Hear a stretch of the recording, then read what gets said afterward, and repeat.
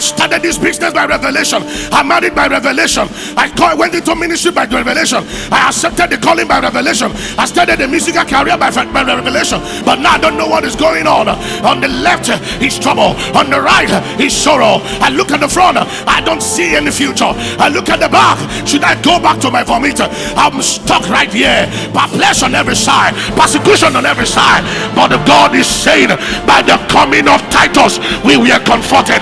The man that you need uh, that will comfort you, that will take you out of the level you are into the next level of your life, that will uh, that will heal you, that will support you. That man is on the way. His name is called Titus. That man is on the way.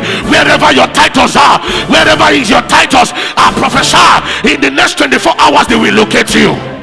I said they will locate you. I said they will locate you.